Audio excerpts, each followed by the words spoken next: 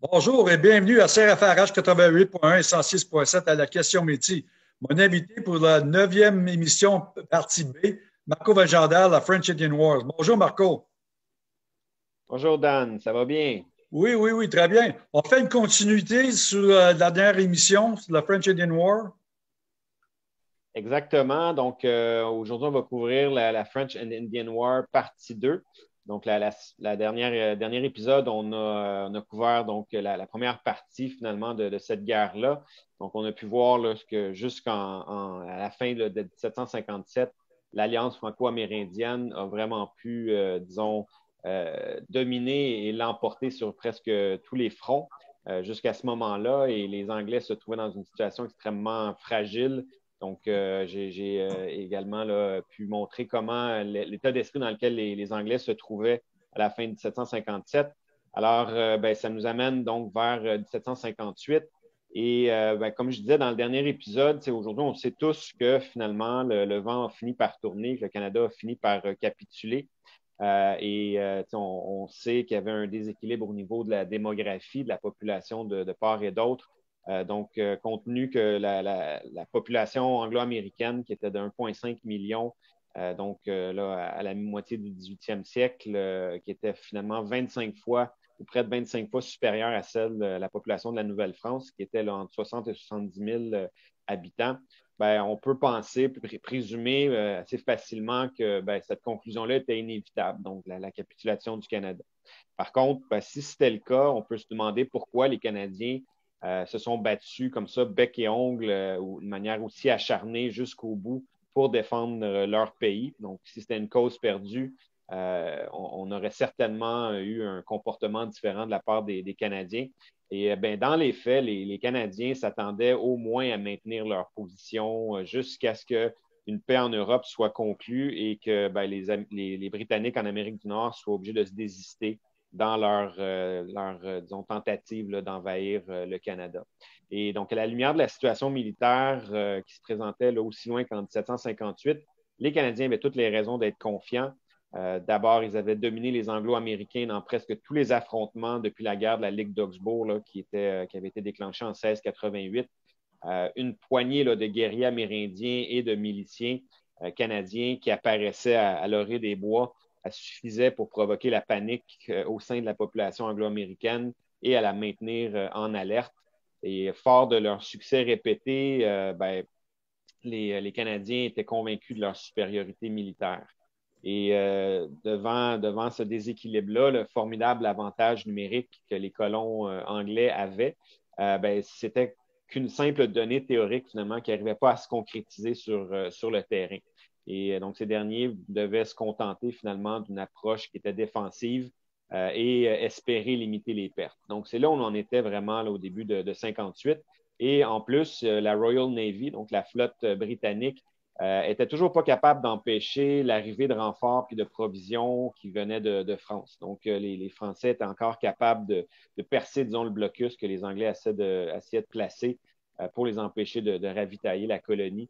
Donc, au cœur de la, colonie de la Nouvelle-France, la vallée du Saint-Laurent, ben, l'Alliance franco-amérindienne régnait vraiment en maître sur le fleuve euh, et jusqu'au Grand Lac euh, et au sud également, et, aussi sur l'axe de la rivière Richelieu et du lac Champlain. et sur ces différents axes, ils étaient capables vraiment de se déplacer très, très rapidement, beaucoup plus que, les Anglais. Donc, ils avaient des, un bon positionnement à, à ce moment-là. Donc, L'Empire britannique, lui, de son côté, euh, dès l'été 1757, euh, va commencer à se mobiliser.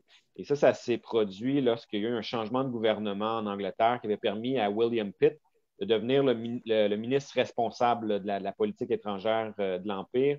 Et pendant que, donc, on, l'a vu, plusieurs contemplaient la possibilité d'un traité de paix avec, avec la France. ben, lui a décidé d'essayer de concentrer tous les efforts dans le but de gagner la guerre en Amérique. Et en, 1758, il a fait dépêcher plusieurs milliers de réguliers britanniques vers, euh, vers les colonies.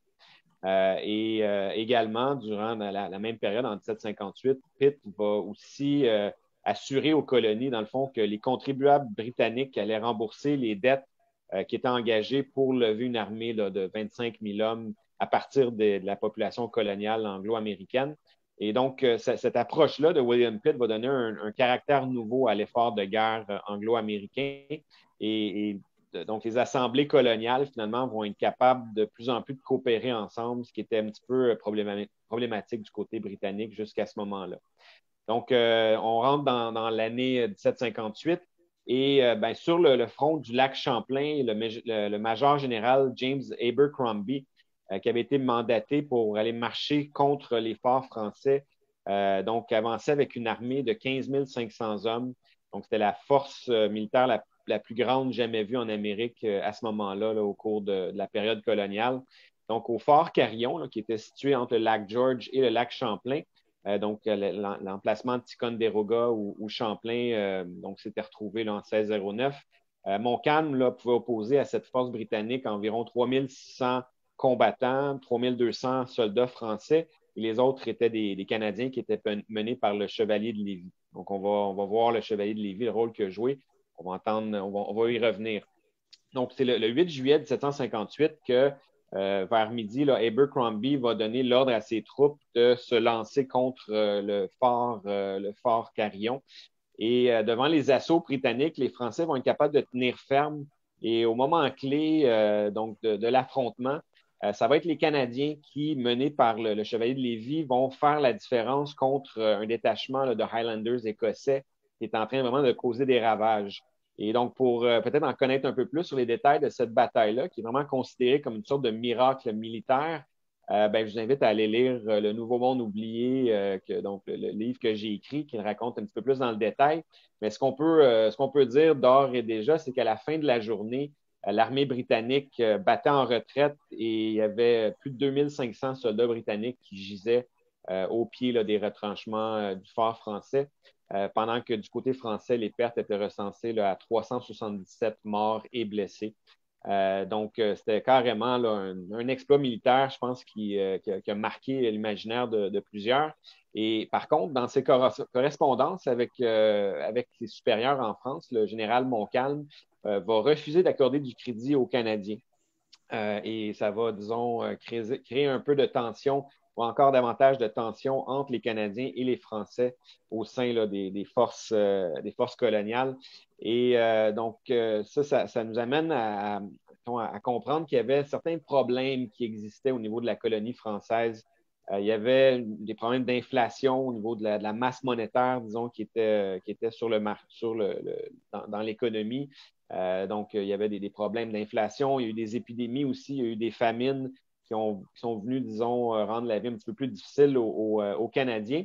Par contre, le plus grand des, problèmes, euh, c'était au niveau de la division du commandement. Donc, Montcalm, qui est arrivé en 1756, et, Vaudreuil, qui était donc un Canadien, fier de l'être, en vint rapidement à, se, détester parce que d'un côté, Vaudreuil voulait passer à des stratégies offensives euh, et utiliser beaucoup les partis de guerre canado-amérindiens pour aller ravager les colonies britanniques. Donc, on l'a vu à répétition depuis, euh, depuis 1688. C'était quelque chose qui était pratiqué allègrement, avec une très grande efficacité. Et donc, ça, ça permettait de maintenir les positions défensives euh, britanniques et d'empêcher finalement de prendre d'assaut le Canada. De son côté, Montcalm, lui, avait que du mépris pour ce type de guerre et pour les hommes qui s'y livraient. Et euh, donc, il préférait, lui, la guerre à l'européenne qui était faite de combats planifiés, un peu comme des parties d'échecs entre des nobles euh, qui jouaient avec les troupes comme des pions. Donc, euh, c'était une autre philosophie, une autre façon de, faire la guerre. Et Montcalm a commencé à répéter à ses officiers et aux autorités en France que la défaite était inévitable et que la colonie courait à sa perte. Donc, euh, déjà, là, 1757. Euh, et donc, cette animosité-là va se propager aux officiers français subordonnés. On peut comprendre qu'il y a eu des tensions qui, ont, sont apparues finalement euh, tout au, à, l'échelle des forces donc franco, franco canadiennes. Donc, connaissant ces, problèmes-là, on sait qu'il y a des, sortes de fissures un peu dans la capacité de la colonie de se défendre. Euh, les Britanniques, eux, donc, sont plus décidés que jamais de mettre toute la gomme pour aller chercher le, continent. Donc, le 28 mai 1758, une flotte euh, britannique de 8 000 hommes va plutôt, se diriger vers la capitale euh, française de Louisbourg. Donc sur l'île du Cap-Breton. Et c'est le, général Jeffrey Hammers, qu'on va revoir un peu plus loin, qui va assiéger la ville, qui finalement va capituler le 26 juillet 1758. et donc là, les Anglais vont s'installer et le général donc James Wolfe, qui était qui faisait partie des troupes britanniques au, niveau des maritimes, euh, va être mandaté d'aller euh, finalement conduire euh, trois bataillons pour aller dévaster la, région du golfe du Saint-Laurent. donc, aller détruire tous les, établissements canadiens qui s'y trouvaient. Donc, l'escadre va quitter Louisbourg le 28 août et va jeter l'ancre dans la baie de Gaspé quelques jours plus tard. Et là, on va faire détruire les établissements le long du fleuve Saint-Laurent, ou du golfe Saint-Laurent plutôt, vers le sud-ouest aussi, la baie des Chaleurs, le mont Saint-Louis autour de la rivière Miramichi également. On va donc faire, on va brûler les, maisons, on va, euh, on va créer beaucoup de, ravages et là, ensuite, euh, au cours du mois de septembre, on, va ramener les assaillants à Louisbourg. Donc, on, un, chapitre qui est assez, euh, assez sombre de, cette guerre-là. Donc, les Britanniques qui décident vraiment de, de mettre toute la gomme. et on se transpose ensuite vers, vers l'ouest, donc à, l'ouest des, au niveau des Grands Lacs. Donc, en août 1758, le, vent commence à tourner euh, dans, cette région-là. Donc, une troupe coloniale britannique de 2700 hommes qui va prendre par surprise le fort euh, Frontenac, donc les Français qui se trouvent là. Aujourd'hui, c'est Kingston, sur la rive nord du lac Ontario. Et la garnison canadienne, qui est composée d'une centaine d'hommes, euh, va être capable de résister assez longtemps pour se rendre avec les honneurs de la guerre, mais tout de même va, finir par capituler. les Britanniques euh, au lieu d'occuper le fort, vont le, vont le brûler. Donc, euh, ce que ça crée comme situation, c'est que les Français se trouvent dorénavant privés de leur entrepôt principal et aussi des bateaux qui servaient pour transporter les marchandises pour aller plutôt ravitailler les forts qui étaient au sud du lac Erie. On en a parlé l'autre jour, donc le, fort Presqu'île, le fort, le fort Lebeuf, le fort Duquesne aussi. Donc, ils vont plus être capables de, ravitailler, de renforcer ces, forts-là. Donc, ça va créer une brèche un peu dans, leur, euh, dans leur logistique. Et dans la même période, les Britanniques vont diriger environ 7000 hommes vers le pays de l'Ohio. Donc, à travers les montagnes, lentement, ils vont avancer avec leurs wagons et établir au fur et à mesure de leur progression des postes de ravitaillement qui seront très, très bien gardés. Alors, devant ces avancées-là, les attaques euh, donc répétées de la garnison du fort du Kane euh, qui, était sous la direction du Canadien François-Marie de Lignerie euh, et qui était appuyé là, par environ un millier d'Amérindiens, vont être très, très efficaces. Donc, ils vont constamment harceler les avancées euh, britanniques. Et fort de leur triomphe, les Canadiens, les Français, qui étaient toujours convaincus de, de, maîtriser ou d'être les maîtres de la région, vont continuer leurs attaques improvisées comme ça. Sauf qu'en octobre 1758, les forces franco-amérindiennes euh, vont tenter de prendre d'assaut un fort euh, du nom de Ligonier, qui est au sud-est du fort du Ken. Euh, et le fort du Ken, juste pour le, situer, c'est aujourd'hui l'emplacement de, Pittsburgh. Donc, les, offensives plutôt vont pas connaître les mêmes succès que, qui s'étaient produits auparavant. Et donc, en tentant de prendre le fort Ligonier, il y a plusieurs Amérindiens, finalement, autochtones, Premières Nations qui vont, euh, être victimes finalement de, ces affrontements-là. Et devant le coût euh, chèrement payé par les, Premières Nations, certains groupes vont décider d'entamer les négociations de paix avec les autorités de la Pennsylvanie. Donc, euh, un peu plus tard, en octobre 1758, à Easton, en Pennsylvanie, les délégués iroquois de l'Ohio et neuf autres nations vont conclure un accord de paix avec les Anglais. Et cet accord-là stipulait que les autorités de Pennsylvanie allaient renoncer à toute revendication de terre à l'ouest des montagnes Allegheny. Alors, euh, ils ont cru dans la bonne, bonne foi des, Anglais. On verra que euh, cette, naïveté va leur coûter cher. Euh, et donc, la défection des alliés autochtones dans le pays de l'Ohio et la pénurie de ravitaillement va obliger les Français à détruire finalement le fort du Ken en novembre 1758 là, ils vont se retrancher euh, au fort Machaut qui avait euh, été construit un petit peu plus tôt en 1757, plus près du lac. Euh, et donc, devant ces développements-là, aux commandes finalement de l'armée française, donc Montcalm, qui en octobre 1758 a eu le commandement global de toutes les forces armées, ben, Montcalm là, devenait plus défaitiste que jamais. Par contre, pourtant, la, situation sur le terrain ne justifiait aucun, aucunement un tel pessimisme. Et avec leur courte ligne de communication à l'intérieur de la colonie, les Canadiens étaient toujours capables de, justement d'avoir une emprise sur, sur le territoire, être capable de, défendre son intégrité. Donc, voilà pour 1758. On rentre en 1759 qui est l'année, donc euh, l'année fatidique pour beaucoup. Euh, donc, en mai 1759, des corsaires français qui étaient parvenus à briser le blocus anglais vont, atteindre Québec. Et à leur bord se trouvait le colonel de Bougainville, qui était l'aide de camp de, Montcalm, qui revenait avec de très mauvaises nouvelles de, Paris. Donc, euh, après avoir expliqué aux autorités françaises un peu la situation dans la colonie, le, ministre de la Marine français avait répondu au colonel Monsieur, quand le feu est à la maison, on ne s'occupe pas des écuries. Alors, euh, c'était assez clair. Les Français décidaient de, ne plus, euh, disons, mettre leurs ressources pour défendre euh, l'Amérique ou leur, colonie américaine. Et donc, la, colonie canadienne se trouvait désormais là, vraiment seule pour se défendre avec les moyens dont elle, elle disposait. Alors, l'avancée britannique va se poursuivre. Donc, à la fin du mois de juin 1759, les Britanniques vont réussir à, reprendre possession du fort Oswego, donc sur la rive sud du, euh, lac Ontario. Euh, ils vont procéder ensuite à l'assaut du fort Niagara avec quelques 2000 réguliers et euh, un millier d'Iroquois. la garnison du, fort Niagara de 486 combattants canadiens et français et donc une petite force d'alliés amérindiens va être contraint de capituler à ce moment-là. Il y avait des renforts qui devaient venir du fort du Duquesne, justement, mais finalement, les renforts euh, vont être bloqués par les Anglais. Alors, euh, les, Français vont devoir euh, donc capituler. Et là, avec la perte définitive du fort Niagara, l'emprise des Français et des Canadiens sur le lac Ontario et Erie et la vallée de l'Ohio s'évanouissait, donc finalement. En juillet 1759, les garnisons françaises vont se voir donner l'ordre par Montcalm euh, d'abandonner le fort Carillon et le fort Saint-Frédéric, qui était sur le lac Champlain. Et il va ordonner donc de, se retrancher à l'île aux Noix, qui était un peu plus au nord sur la rivière Richelieu. Donc, on laissait le champ libre aux Anglais pour prendre possession de cette région-là, euh, sur toute la, longueur du lac Champlain. Euh, et donc, malgré ces déboires, ben, les, les, Français et les Canadiens étaient toujours en contrôle de la région au nord des Grands Lacs et de la vallée du Saint-Laurent. Donc, c'est important de comprendre qu'il y avait encore, euh, il y avait encore de l'espoir pour, euh, pour les Canadiens.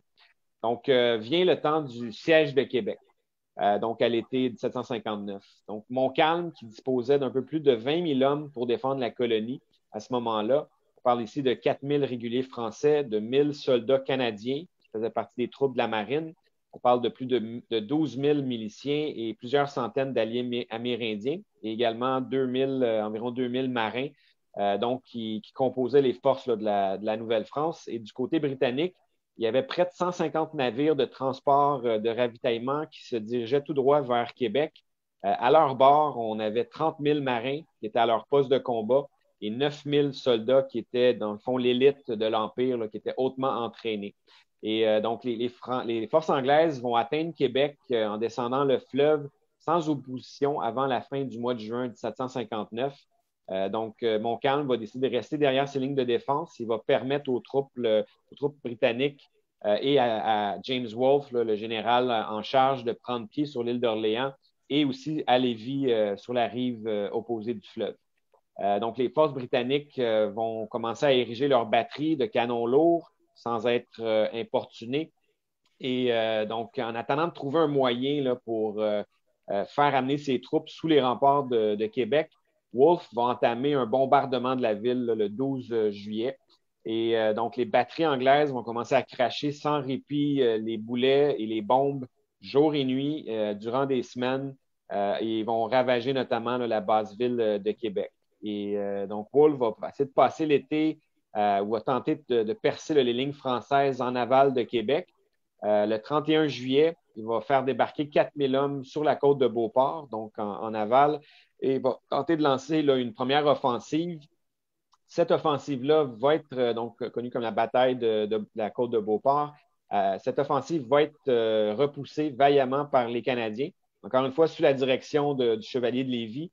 Et dans cet affrontement, les Britanniques vont subir de, très lourdes pertes, donc ça va être un cuisant échec. Et à, à cet échec-là, va s'ajouter aussi le débarquement du brigadier général James Murray, le 8 août, donc à la pointe aux trembles, un peu en amont de, Québec. Et donc, l'attaque va être repoussée aussi par les hommes, du, par le colonel de, Bougainville. Alors, frustré, là, vraiment, donc à chaque, à chaque coin, coin de, à chaque tournant, Wolf va tenter d'appliquer une véritable politique de terreur. Donc, ça, c'est quelque chose que les, les, les, passionnés d'histoire euh, se rappellent.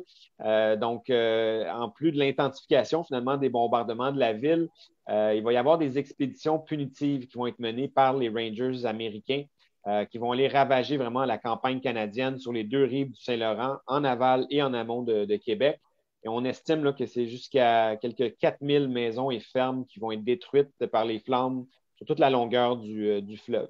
Euh, et donc, malgré euh, les, pertes importantes, euh, la destruction, ben, les Canadiens, autant hommes et femmes, jeunes et moins jeunes, vont combattre avec l'énergie du désespoir afin de défendre leur maison, leur terre, leur pays. Donc, c'était vraiment des moments de, de, grand, de grand désespoir, de courage, de sacrifice. C'était la, vie même de la colonie qui était sur la ligne.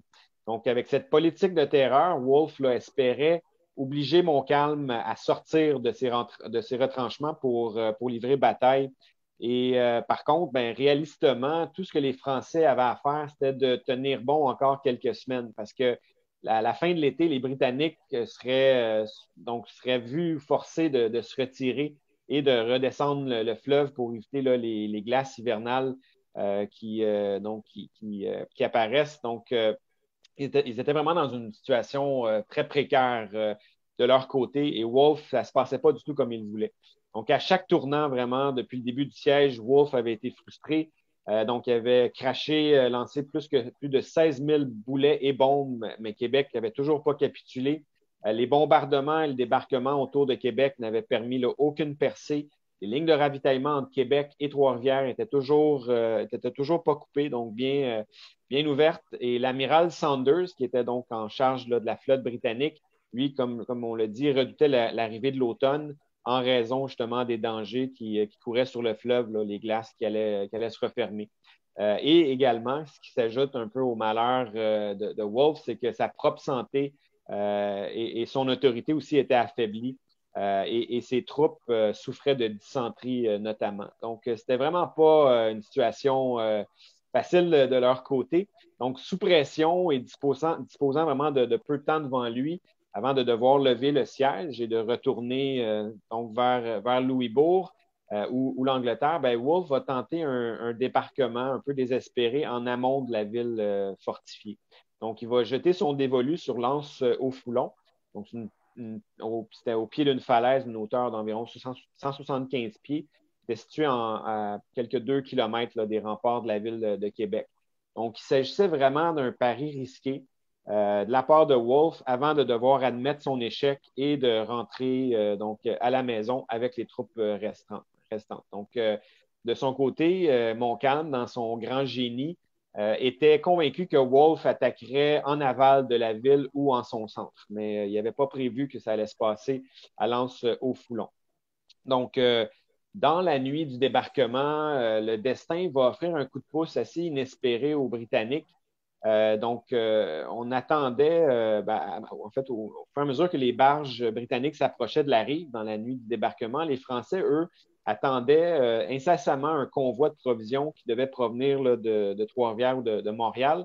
Et donc, dans une méprise totale ou, ou pire, peut-être qu'il y a eu un peu de, un petit peu de, de, concert ou de, de d'éléments qui sont un peu plus troublants, ben, il apparaît que les envahisseurs euh, ont, pu finalement être confondus avec les ravitaillements qui étaient attendus et ils sont passés sans souci euh, devant les sentinelles françaises. Alors, euh, c'est une, chance assez inespérée et Wolf donc va, en profiter. Et là, au petit matin, le 13 septembre, euh, ben, avant même que Montcalm s'en rende compte, il y avait 4500 manteaux rouges qui étaient stationnés sur les plaines d'Abraham, donc prêts à livrer bataille. OK. À ce point-là, on va prendre une pause, on en revient.